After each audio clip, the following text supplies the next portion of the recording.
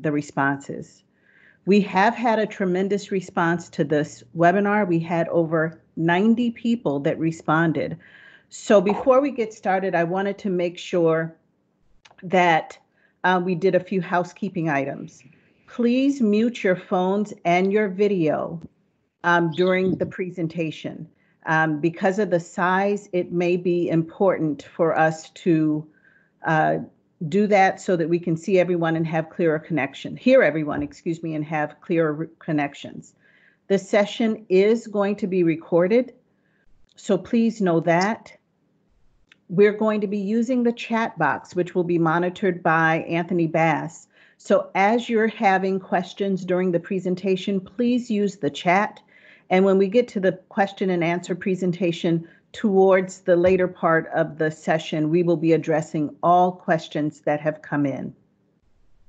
So as we go through this agenda, um, we are going to at first hear from Akua Ellis, the Senior Vice President of Community Impact, and then move into Olivia Jess Jefferson, where we talk more deeply about our community impact areas. Hear from our partners, Catherine Mears, with Avenues for Homeless Youth and Valerie Stevenson with Phyllis Wheatley Community Center. We'll go through further detail of our response and recovery fund that Olivia Jefferson and Ann Soto will be discussing with you, and then open it up for questions. Um, so without further ado, welcome Akua Ellis. Hey everyone, thanks so much for joining us and thank you for the invitation, uh, Leslie. One second here, grab control.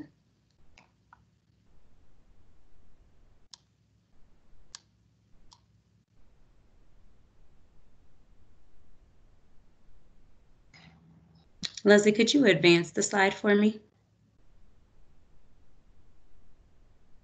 All right. Uh, so it's important for me that we start this conversation with our theory of philanthropy because it guides all of our community impact efforts.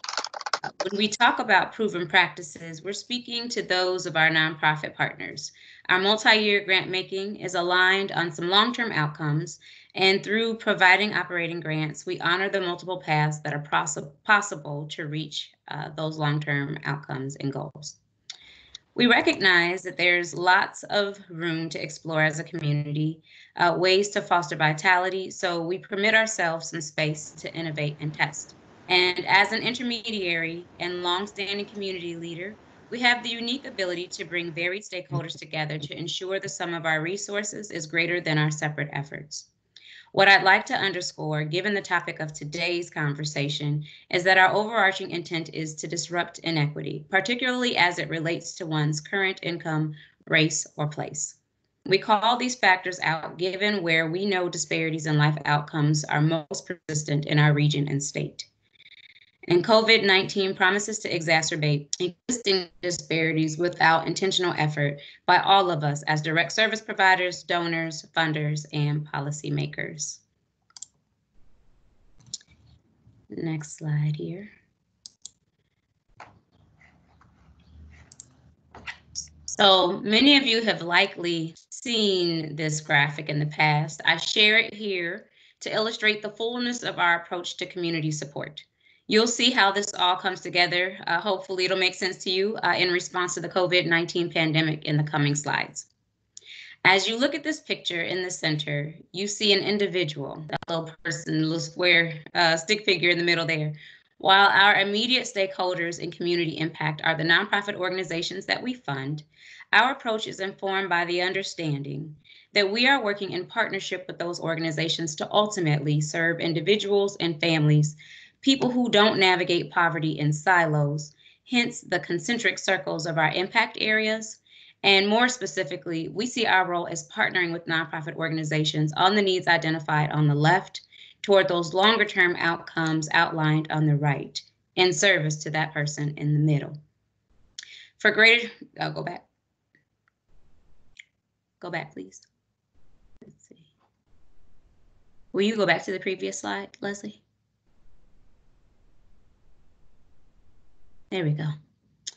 Uh, for the Greater Twin Cities United Way, household stability, meaning having a place to call home that is safe and affordable with access to basic needs like healthy food, is foundational to a person's ability to thrive. With that sound foundation, it's a lot easier to create an environment conducive to learning. And you're more likely to get and keep a job if you've got an address to put on your application and place to lay your head to rest before clocking in. And let's just be real the challenges that we seek to address are in many ways manifestations of unjust systems. Across the bottom of this page, you see capacity building, impact measurement, systems change, in addition to grant making. These are all the levers we can pull in addition to grant making to actualize all this theory. Now, you're probably sitting at your computer thinking, okay, that's fine, but what does any of this have to do with COVID 19? I'm glad you asked. What I want to share next is what our response has been to the COVID 19 pandemic. Uh, and get the next slide here.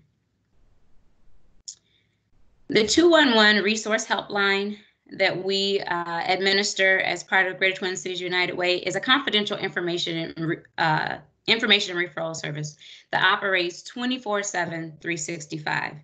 And we provide this service to roughly 90% of the state's population.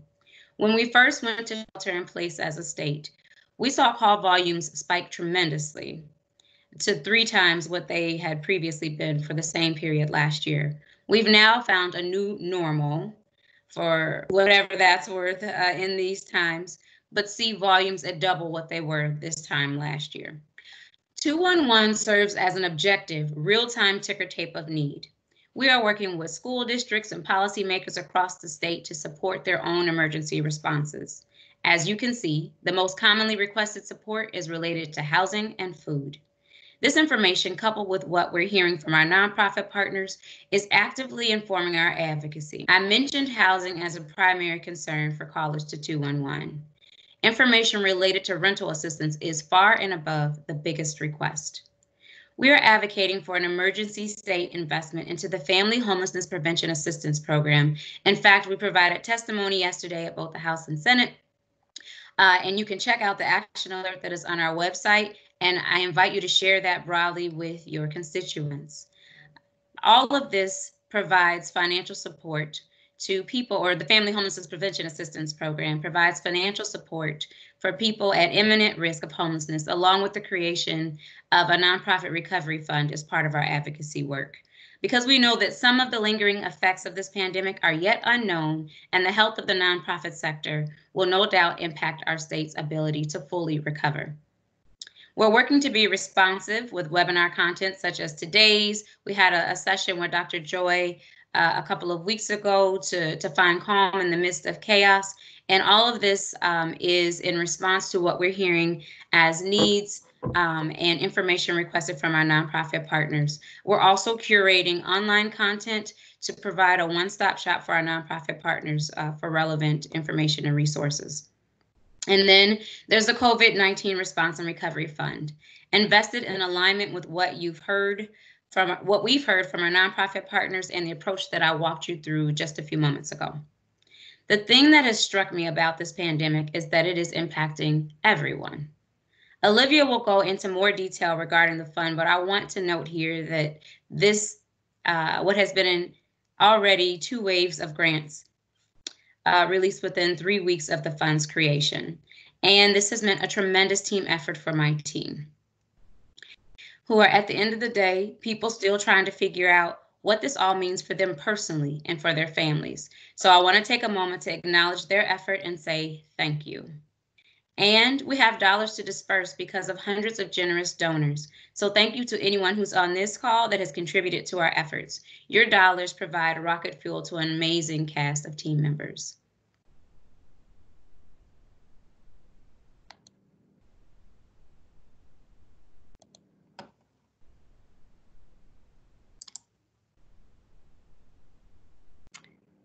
Thank you so much, Akua, um, for that overall strategy and what we're working on. Next, I'm going to introduce Olivia Jefferson, who is our Director of Equity and Holistic Grant Making here at Greater Twin Cities United Way. Um, Olivia? Thank you, Leslie. Um, so good afternoon, everyone. Um, in addition to leading our internal equity work and our holistic grant making team, I have had the honor of serving on a core team that has designed our response strategy for the Response and Reco- Recovery Fund.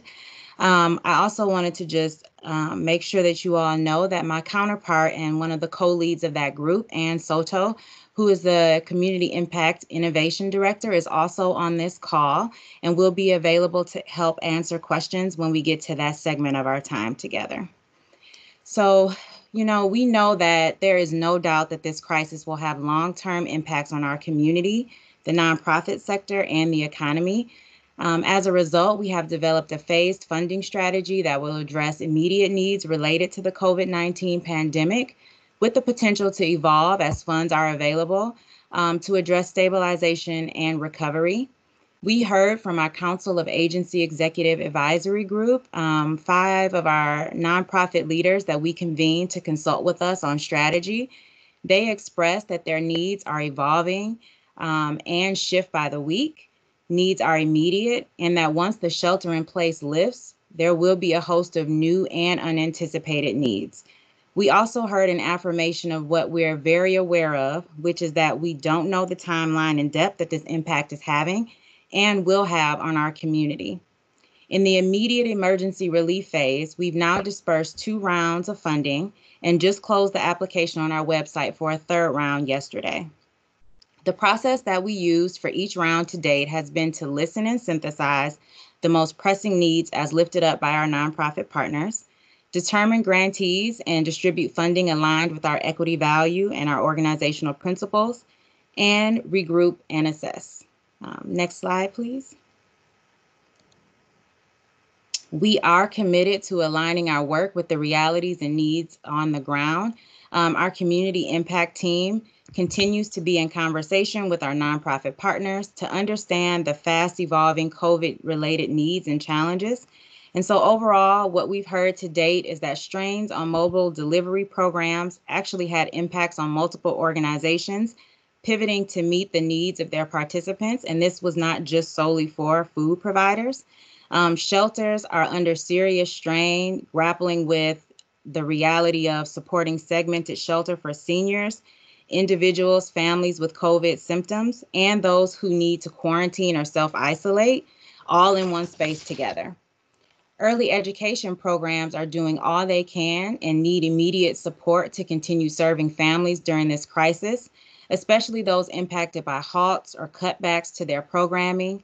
Many programs are expanding to serve children of all ages, especially for our essential workers.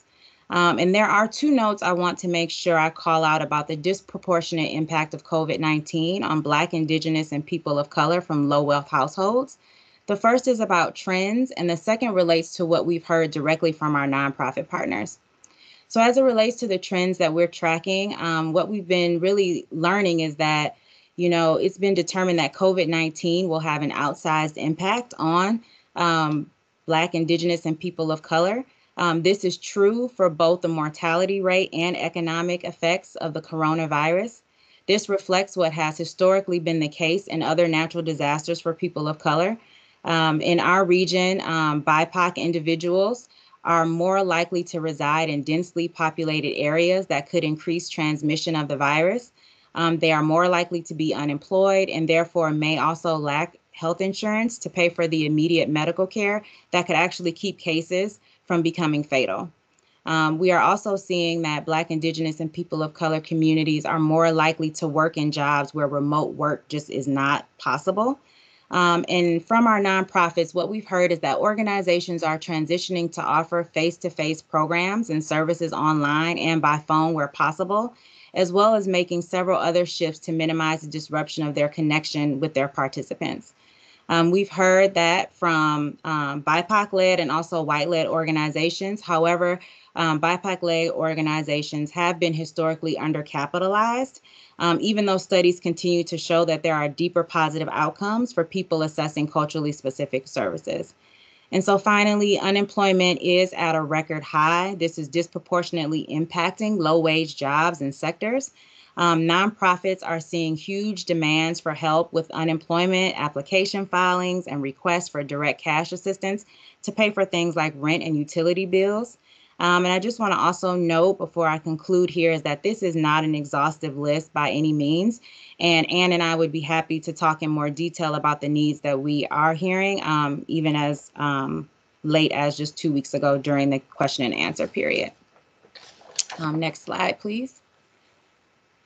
And so to respond to the many needs we heard, we acted quickly with emergency funds. Um, the first round of funds equaled to 2000, I'm sorry, $200,000 and re- when was released on March 23rd to 32 food security and housing organizations currently providing emergency shelter.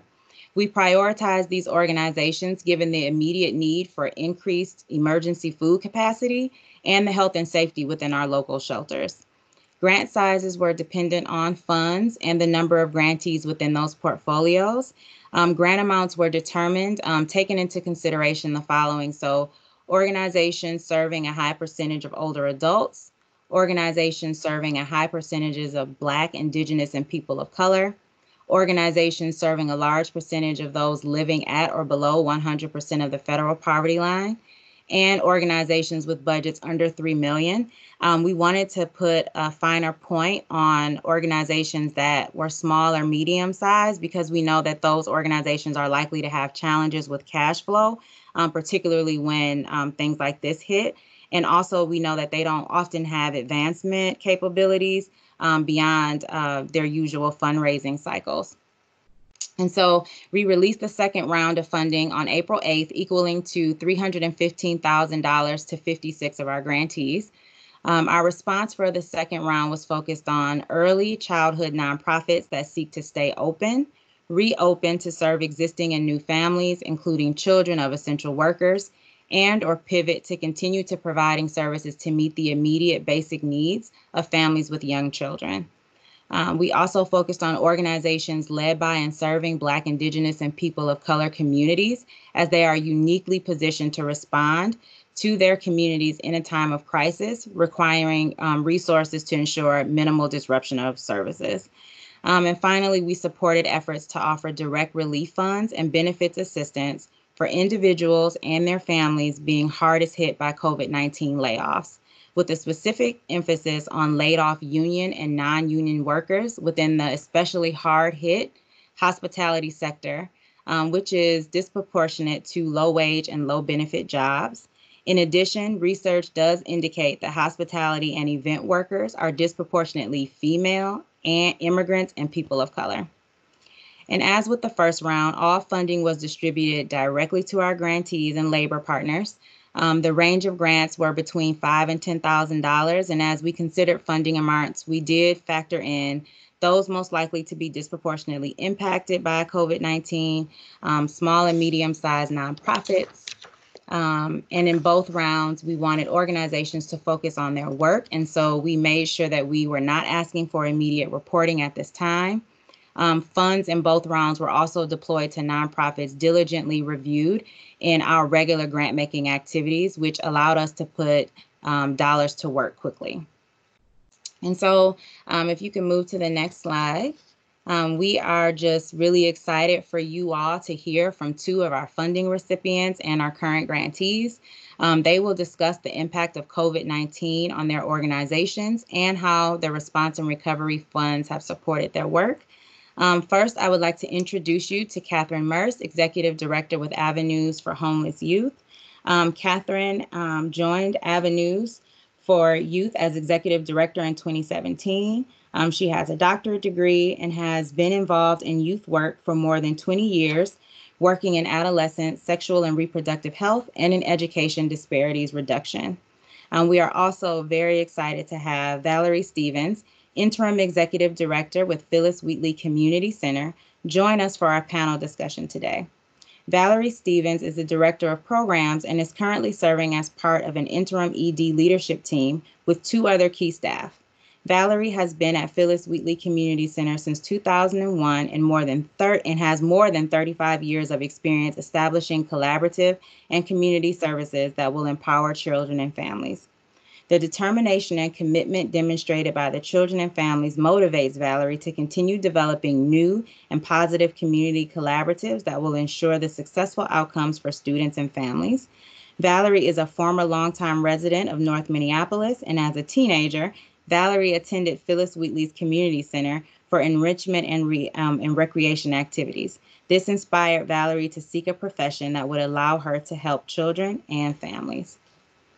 So um, first, I, if Valerie, if you don't mind, um, I would love for you to just address our first question, which is tell us how COVID-19 has impacted you, your organization, staff, and of course, the people that you serve. Good afternoon, everyone, and thank you, Carrie, and thank you, United Way, for inviting me to this event. Um, I want to talk a little bit about how uh, it's impacted uh, Phyllis Wheatley Community Center. Phyllis Wheatley, the, we are, we've always been historically an agency that is a face-to-face agency where we meet people at their needs and we draw on seeing our clients um, in one-on-ones up close and personal. Um, we we serve a community that is impoverished and who don't have a lot of trust with people. So we were always our key is meeting people where they are. So we'll come to them, and that is how we built our trust with families. Because of COVID nineteen, this has really impacted some trust issues families are having. They're worried they're scared, they're concerned. Um, and we, by our face to face contact, we were always able to ensure and support families that we could help them through situations. But with this COVID 19, it has, because of the distance, families are scared, and we are relying on our phone communication with our families to ensure them, to empower them, to uh, talk them through situations where they're scared. Um, some are even angry because this is impacting them so much. Um, based on the fact that they don't have the finances to be able to buy food, buy necessities. So we have become a resource to connecting them to different um, connections that will enable them to have just food, their basic needs for their children. This has also impacted families because a lot of them the families that we serve uh, are court they're court mandated for different programs that we we have. And this relied on them attending groups at the building um, for some weekly for three hours and they have not been able to do that. And for some of them just attending those groups and seeing their facilitator face to face, they got empowered, they got supported, and they're not able to do that. But we want to still ensure that they meet their court recommendations. So we have turned to doing emails, doing Zoom calls, doing phone calls, mailing out packets. Um, and this has been all of our programs across the board, our truancy programs. We've also been doing this with our early child care center parents as well. We have temporarily closed our classrooms due to COVID, but this funding that we received from United Way will help us to buy necessary supplies we need, masks, gloves.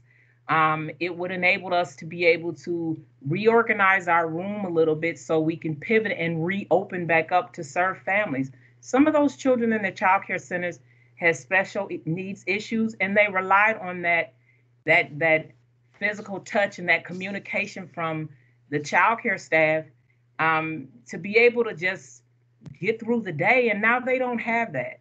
And we do have a lot of parents that are struggling. They're single parents, they have more than one child. So even with children who they have that are special needs, they're having to try to focus on working with that child as well as meeting the needs of their other kids. And then there's a we have a truancy program where the biggest piece of that program was seeing our children at school and, and encouraging them and, and motivating them. And we're not able to do that. And now they're scared and, and they want to know why someone who has been visiting them on a weekly basis can no longer come and see them anymore and encourage them to be at school, to be engaged, to understand the importance of an education. So we're having to do this over the phone. But we struggle with some parents who have pay as you go phones. We have some parents who have state provided free cell phones, so they're limited minutes. So we've we've had to with this funding, we've had to we bought uh, our staff cell phones so they can make sure they're they're communicating with our families. We've also had to we our our cost of our printing materials because we come in and we print out materials that we send out. The cost of our printing has went up as well as our mailing. We're mailing out a lot of information to parents.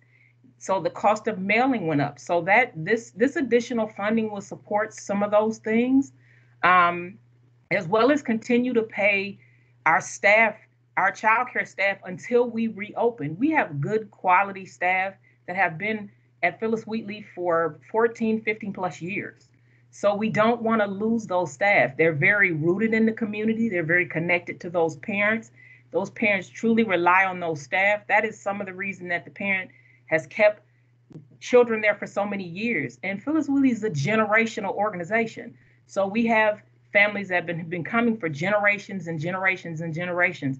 It's also an organization where it's one person recommends it to another person in the community and that's how we've been able to recruit for childcare. That's how we've been able to keep our other programs full because families, because we are word of mouth, we're generational. Families know based on just a response from a past family member that they know they can come there and get the support and the help they need. So this COVID situation and this COVID pandemic has really caused a caused a disconnect for us for some of for some of our families and we we rely on face to face the families rely on that from us and they're not able to get that from us. So they really struggle with that now. We struggle with that because we're worried we're concerned that this is going to at the end of this cause even more damage to families. It, it in families that we've worked with through our domestic abuse program how them attending our our their weekly meetings at the center and able to talk to the facilitator to talk them through situations of domestic abuse now they are scared and don't know if they should go back to the person who was abusing them just as a sense of security. So this all the way around has affected not just it's affected families it's affected organizations it's affected staff because you have people that are concerned in terms of how will families get through with this? What more can we do? Are we doing enough? That is what we struggle with every single day. Thank you so much for providing so much insight um, and just helping us really understand the plight of what you are dealing with um, and hearing every day from the folks that you serve. I just want to say thank you for that. Um, so, Catherine, um, would love for you to also address that same question and just tell us how COVID 19 has impacted you, your organization, staff, and the people you serve. Thanks, Olivia. Thank you, everyone, for um, for participating today. Thank you to United Way for pulling this together. Um, so at Avenues for Youth, we uh, we partner with youth who are experiencing homelessness to achieve their dreams, and COVID-19 is definitely impacting um, what those partnerships look like. It's impacting uh, the youth that we support. It's definitely impacting our staff. I think that you know one of the biggest impacts, of course, is that that our youth and our staff are anxious and scared. Um, uh, and and really under a lot of stress right now. Um, young folks who are isolated to begin with because they are business, asking them to uh, then self-isolate and stay at home can really increase um, mental health challenges. Happily, we've been able to increase our mental health therapist hours with us, and she's available to staff and youth both. And I think the Avenue staff are doing an amazing job of modeling for young people um, being calm and, and carrying on. Um, at the same time, we've had to reduce our capacity somewhat. Uh, we have shared bedrooms in our shelter in North Minneapolis. And so we've had to reduce capacity at that shelter in order to have appropriate uh, social distancing space within the bedrooms. And also in order to be able to have some space uh, for quarantine if we do have young folks who are experiencing symptoms or have tested positive uh, for, for COVID-19. At the same time, we're seeing an increased need. Um, so to the extent that family conflict is a contributing factor in youth homelessness, um, the stay-at-home order, uh, families that are already experiencing some conflict, that may be exacerbating that. I also think the long-term impact, uh, we have the moratorium on evictions right now, but when that moratorium is lifted, we were already in an affordable housing crisis, and I think we're going to see a huge wave of folks being evicted. And it's certainly the case at Avenues that we have young people with us all the time who are absolutely loved and cherished by their families, and their whole family is experiencing homelessness, and they have um, had to split up in order to find housing. So um, I think we're seeing some increased need now, and we're going to see a whole lot more in the months to come. Uh, our youth are um, adapting, I think, to online learning. We have a number of young folks uh, with us right now who are in high school, um, and they are adapting to, to online learning, and we are adapting to make sure that we have the technology that they need to be able to participate in online learning. Uh, most of the youth that are currently in our programs who were employed have been laid off.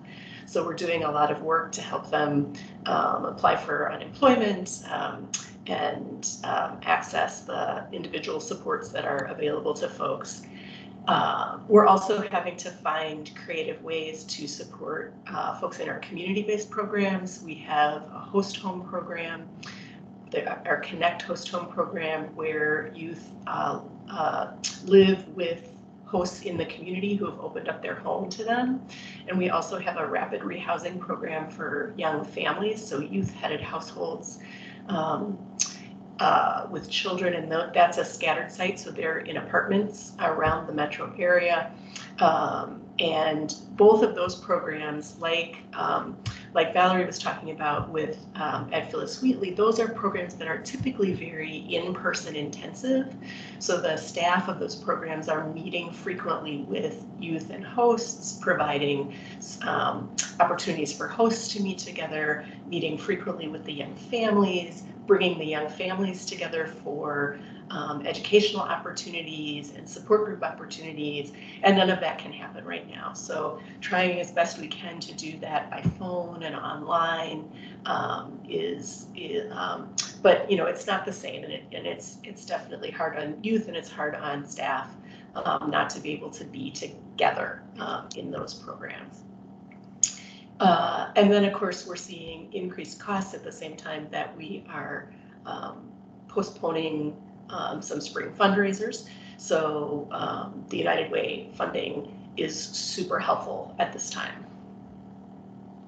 Thank you so much, Catherine. Um, I think sometimes we we forget about the intimacy and just how important that is in building relationships, um, particularly when you are trying to um, offer services um, and and move people along. I think that is just something that I know even even now I am craving uh, personal intimacy. Um, and so, um, if you don't mind, Catherine, since you were just talking, if you could just let us know how um, the additional funding has helped your organization during these challenging times. I know you were mentioning just a little bit there, so just wondering if you wouldn't mind expanding or expounding upon that. Yeah, absolutely. I think the um, the thing that has been so impactful about the United Way funding for us is its flexibility.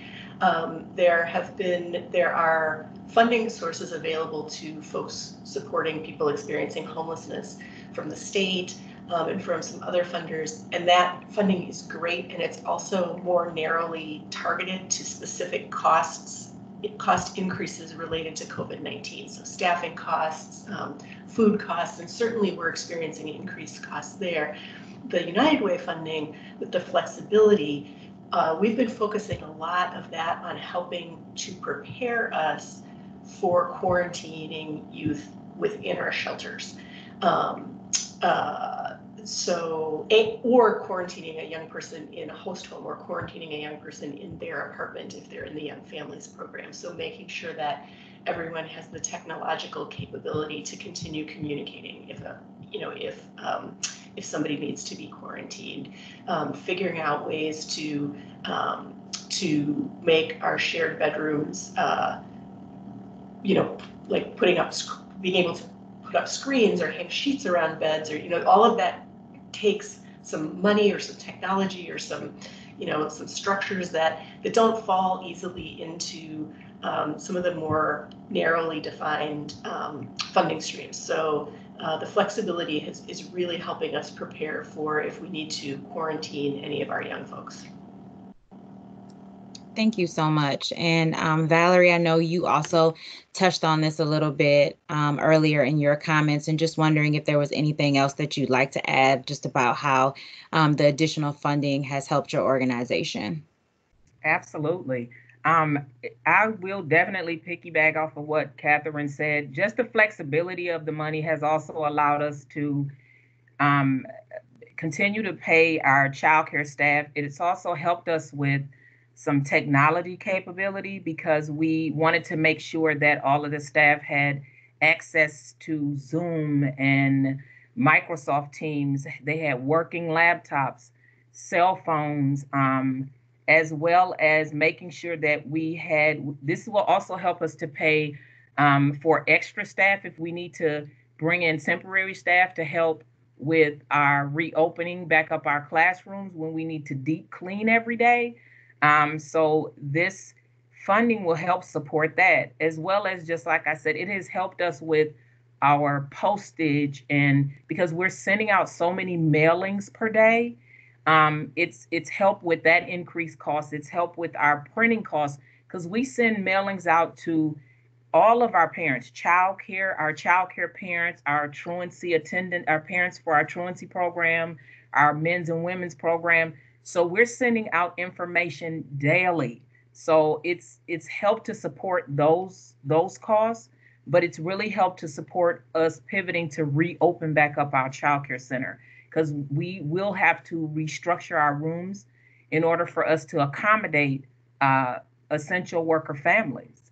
So uh, we we're grateful that it was sent to and it was sent in the form of that we could use it for what we needed to use it for for being flexible. So we we definitely appreciate that because it's it it's really helped us. It's helped us with even more cleaning supplies because we come to the building sometime too. So we we have had to increase the cost of paying our maintenance staff, our janitorial staff, because they do deep cleans.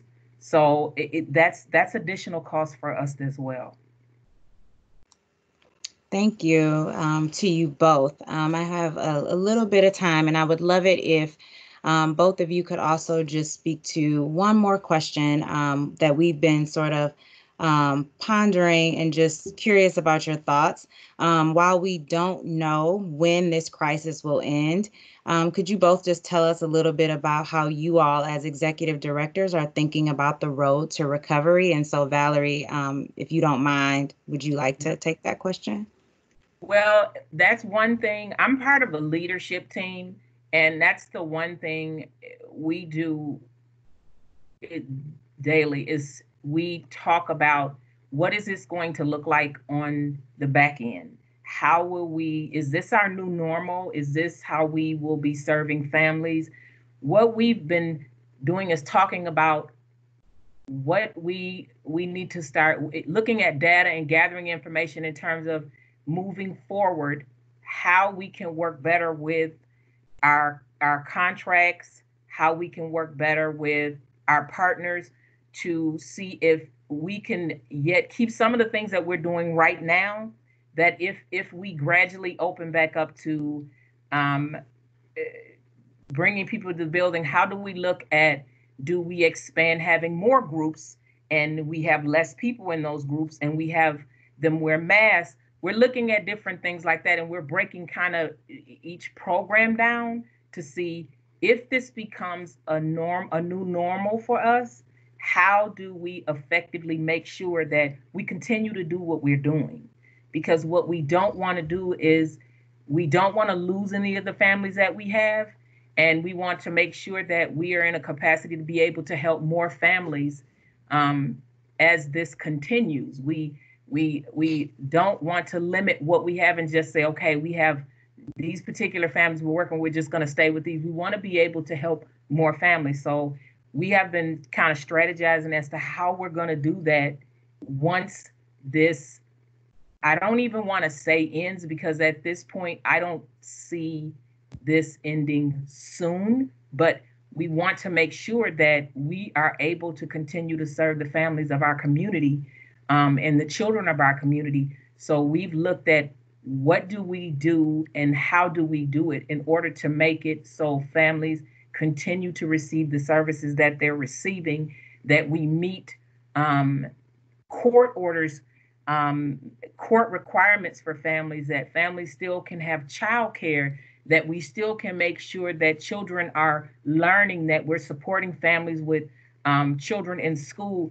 So right now we're just kind of sitting down, breaking down each program, looking at just some of the data we have as to how we worked with families in the past and how can we incorporate how we work with them um, in the past versus how we will work with them moving forward. So that's kind of what we've been doing. No, I really appreciate that. Um, I wasn't expecting a full blown answer, so I just I'm just thankful I'm that. sorry. No, no, no, no, no. That's not what I mean. What I mean is that I know that it's really difficult to sort of come up with an actual plan right now because we're still in crisis mode. So um, I'm just thankful for what you were able to provide and just letting us just kind of have a peek in your in the window of what you all are thinking about. So thank you so much, Valerie. I really appreciate it. Um, and and same to you, Catherine. Um, as you're thinking about sort of the road to recovery, what's been top of mind for you? Yeah, um, so I think top of mind, we're just, we're starting now to do scenario planning. Um, and we're a July 1 to June 30 uh, fiscal year, so we're trying to, you know, look into our crystal balls and figure out what next year will bring. I think the, the big question for us is we see a huge need coming and we have concerns about um, being able to meet that need. You know, on any given night in Minnesota, there are 6,000 young people who are experiencing homelessness, and we have shelter beds for about 15% of them. So there's already a huge unmet need. I think it's going to get worse. And the question really is, um, if, as we're, if we're heading into a significant recession, um, how, how are we going to be able to sustain financially as an organization to, to meet that need? Um, I think we're also learning a lot about um, our space and how the ways in which our physical shelters are and aren't prepared for um, being able to uh, isolate or quarantine young people who are ill. Um, and we're definitely looking at what we can do um, in the future to keep to keep our capacity up and at the same time be able to um, be able to separate out young people when they're when they're ill. So those are kind of the two two things that are top of mind for us right now. Thank you so much to you both. Um, one of the things that I just really wanted to lift up is just how incredibly um, flexible that you all are having to be. So I appreciate you talking about our flexible funding. But what I'm also hearing is just that you all are being incredibly agile and um, in this environment. And so just want to thank you um, and wrap up this panel segment by expressing our sincere gratitude to you both for sharing your perspectives, um, speaking your truth and also holding um, your communities in your hands. Um, we are so grateful for all that you do to strengthen our community. And I hope you um, both will stick around to participate in our question and answer segment. So thank you so much. Um, next slide, please. Um, I will move into my last section of the presentation with an overview of our most recent grant opportunity. Um, in addition to rounds one and two that I mentioned prior, um, we also released a funding opportunity um, through application for a two-week period to support organizations and partnerships. Um, we very deliberately opened this opportunity to both current grantees and non-funded grantees. Um, we were able to move quickly in the first and second rounds by leveraging the diligence that we had already completed on our current funded nonprofits. Um, however, we know that this need is great and wanted an opportunity to support those outside of our current partners. Um, those organizations that were funded in round one and two are all were also eligible to apply. And so the focus for um, that application was really around three things. Um, organizations that have expanded the reach of existing services to support people's immediate needs during the pandemic, organizations that have pivoted or changed or started new services to support people's immediate needs um, during this pandemic. And finally, partnerships that are working in collaboration to expand their reach into community to support more um, people's immediate needs during the pandemic.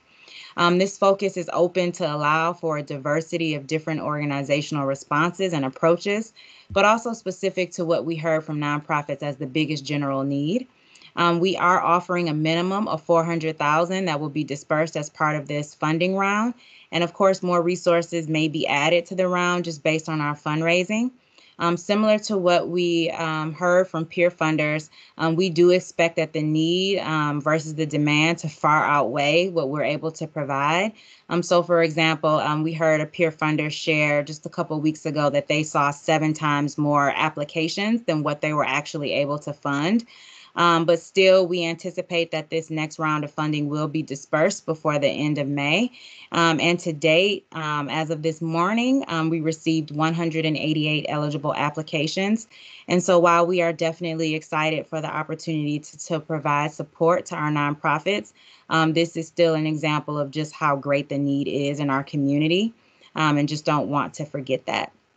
So um, as I conclude my section, I just really want to thank you all for your time. And now I'm going to hand it over to Leslie to open us up for questions. Thanks so much, Olivia. And excuse me, Valerie and Catherine.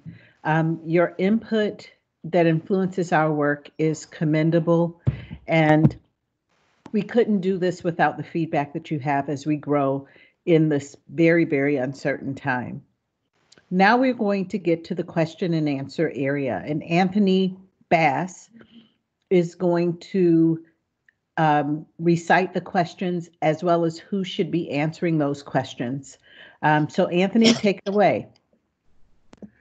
Sure. We've had a question uh, in the chat that's been kind of circulating, and I'll just put it out there once again for if not our panelists, then maybe Olivia or Ann. Um, the question was how how agencies are allocating hazard pay for staff, if any.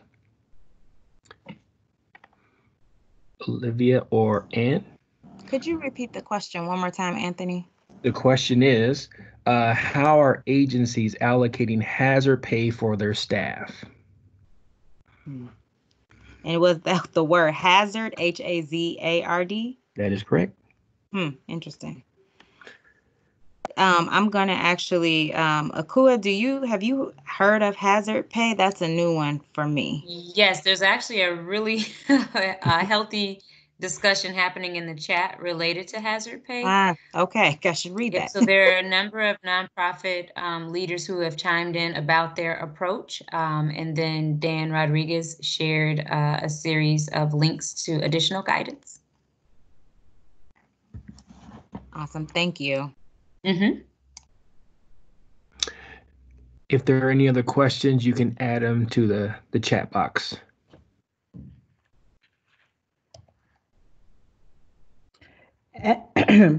or if you don't want to add them to the ch- chat box, just because we are um, ahead of schedule, we wanted to ensure that we had as much um, feedback from you all as possible. So if anyone would like to unmute themselves and ask a question, that would be certainly fine. Um, and if not, we'll just pause and wait for some more questions. or ask for some last remarks from any of our panelists and Akua or Olivia.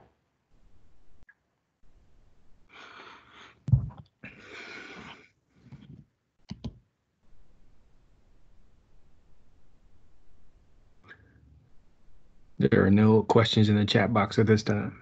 Here we go. Um, next question Has anybody received PPP funding and how are you tracking that? A question for uh, you, Olivia.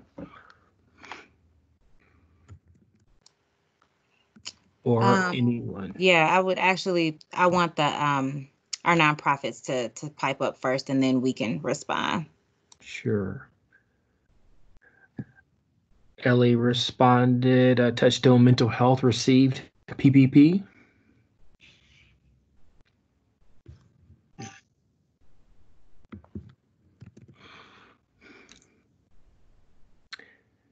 Any other agency partners know of anyone who received um, the PPP? Okay, here we go. Um, also, another response avenue is offering hazard pay to direct service staff. Um, she want to say it's, excuse me, it's set amount and currently tied to the governor's stay-at-home order ending.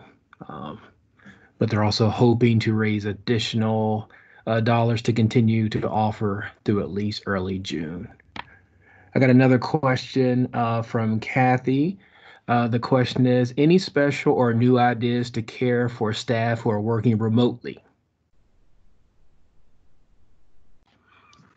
That could be for the panelists or um, Anne, Olivia.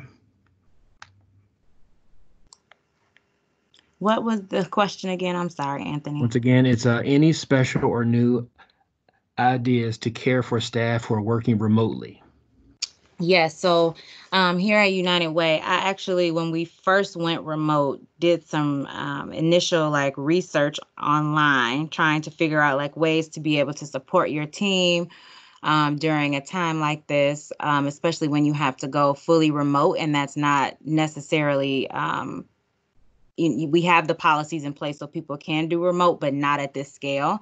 Um, and I actually found several great articles on this. And um, just a couple weeks ago, sent my team some little, uh, just small little care packages just to let them know that I was thinking about them during this hard time. Because as we know, our staff are also juggling many things. Some of them have become full time teachers, in addition to daycare providers, um, in addition to being partners and also um, taking care of um, other family members as well. And so, how do we just continue to lift each other up? And I, I can also um, throw the link that I found in the chat box in case other people are interested in just thinking about other out of the box ways of supporting their teams and staff. It looks like most of these questions are just general questions for all the uh, agency leaders who are in attendance, not necessarily a United Way question. So I'll just put it out there. And if you feel like you want to respond, you can unmute yourself and respond. Uh, so here's a question from um, a particular leader that says, This might be a strange thought, but are organizations adding additional employee benefits at this time?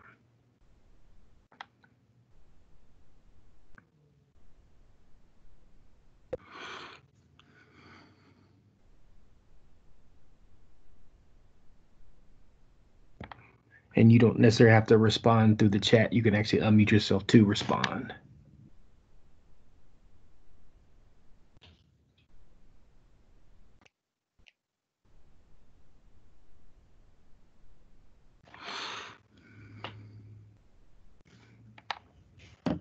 It was in addition to that question, such as life insurance.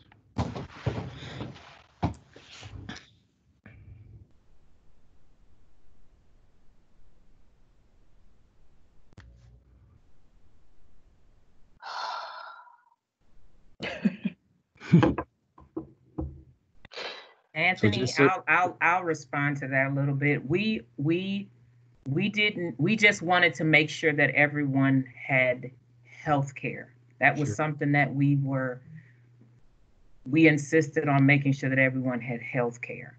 That was one of, and we didn't add anything. Most of our, most of our, uh, staff did. But, um, they had health care through the agency, some didn't. But for those who didn't, we wanted to make sure they had some type of health care.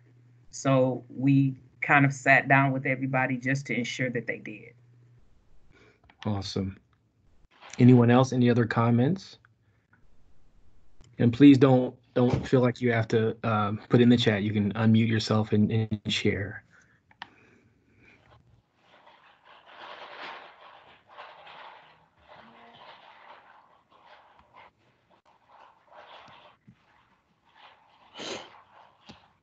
Okay, there seems to be no other questions. Outstanding. One of the things, um, Anthony, and thank you so much for that, and thank you everyone for your questions. As we do have a little bit of time remaining, I'd like to open it up for any of our nonprofit partners to talk freely about some of the impact that COVID 19 has had on them or their organizations.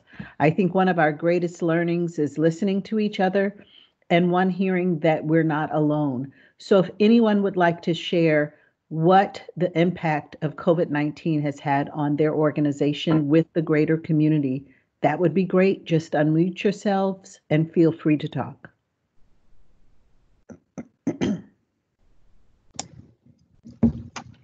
Hi, Leslie. It's Kathy Mays. How are you?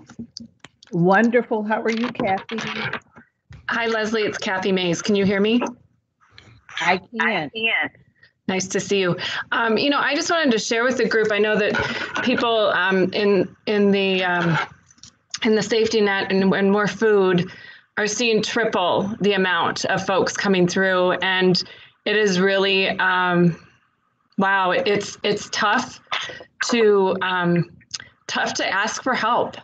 And you know, we used to serve about 3,500 meals a day, and we're toppling over 10,000.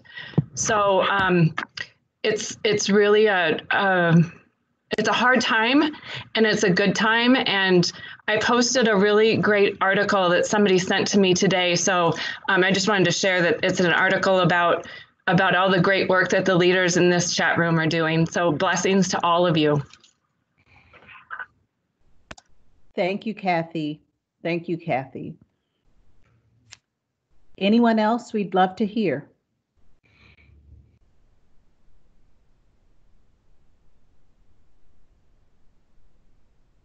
Hi, Leslie. Can you hear me?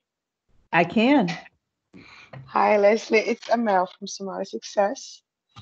Um, because we have a large population of adult basic education um, and English language learners, we had to shut down. Um, Mar- we actually shut down one week ahead of the school shutdowns. And the biggest surprise for us was the explosion in phone calls for support services. Because the clients are doing long distance uh, learning now, we have gone up 380% in phone calls, and most of them are COVID related. Um, basically, telling people the right information and what they can get connection and resources to. Uh, that's been a new job on top of everybody. So that's something that we just shared. Our staff is only 11 people, but we created navigators, and each one of us is a navigator to about 40, 50 fam- families. And basically, they call and we try to guide them through information. There's so much misinformation in people who don't speak la- the language and um, bad information circulating. So that's the main thing that I noticed.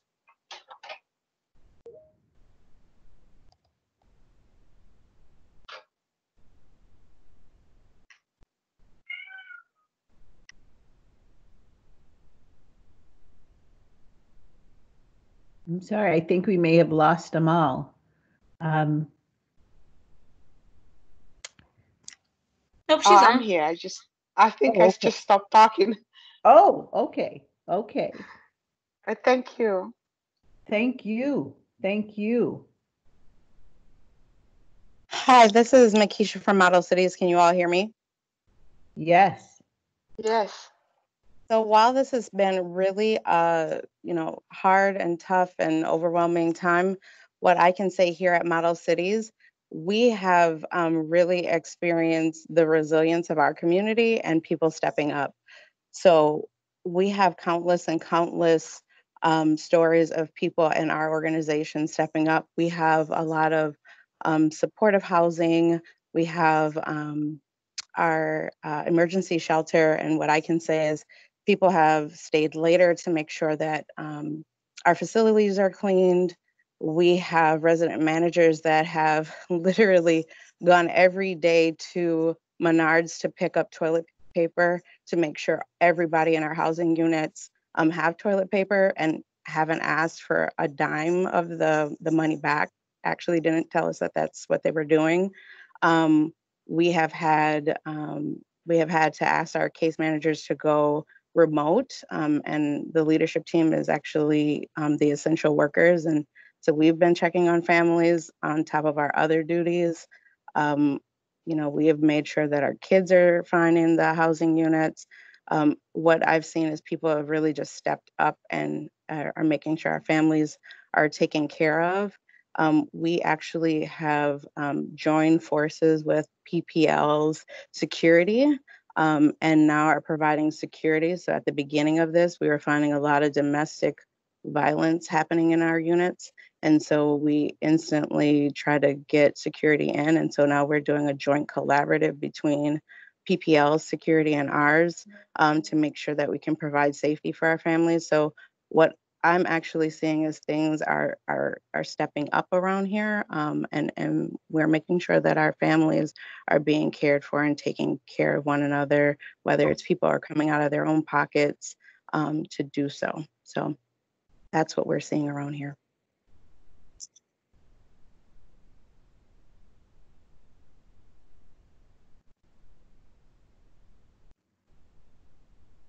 Thank you. Thanks so much. Any other com-